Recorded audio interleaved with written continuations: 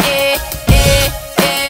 So this is Stella the Umbrella before her makeover. Basically, our project is to have LEDs light up when pressure from rain hits Stella.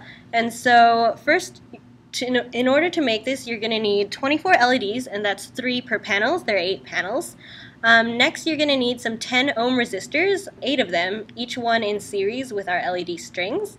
After that, you're going to want some piezo discs, and these convert pressure to voltage, and this will light up our LEDs. And so you're, you're going to need eight of them. And then you want to have resistors in parallel with the piezos, um, so that's eight 1 mega ohm resistors. After that, you want an Arduino Uno microcontroller. So we wrote this program that reads pressure on the piezos and sends current to the LED strings. And in order to power our Arduino, we want a 9 volt battery. Also, since the Arduino only has 6 analog pins and we want 8 input and outputs, we need 2 multiplexer demultiplexers, and we're going to use the 405 one. And finally, you're going to need tons of wire. Okay, so now that we have all our materials, we want to put it together and make sure that it works. First, we designed a mock-up just using a couple breadboards to make sure that our code worked with our 405 ones, and we plugged in two strings of LEDs and two piezo discs after we got our LEDs to light up, we decided that all these wires were kind of messy, so using Eagle software, we designed and printed our own circuit board, which looks so much nicer and is so much easier to handle.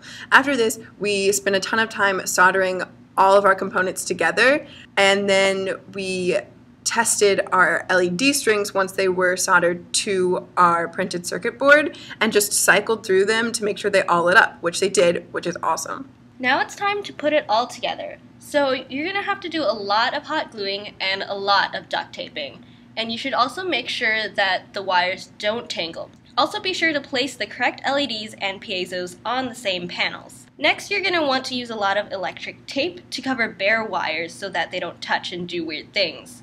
And you're also going to want to place your Arduino in a plastic bag to make it as waterproof as possible. And so now you're done, and if you can close your umbrella, then you deserve a shiny gold star. So this is a demonstration of our umbrella lighting up when we put pressure on the different panels.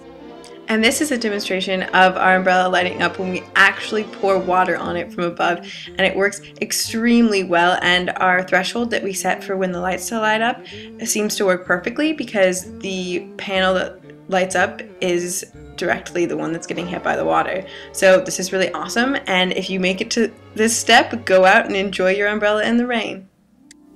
I'm singing in the rain, just singing in the rain. What a glorious feel, and I'm happy again.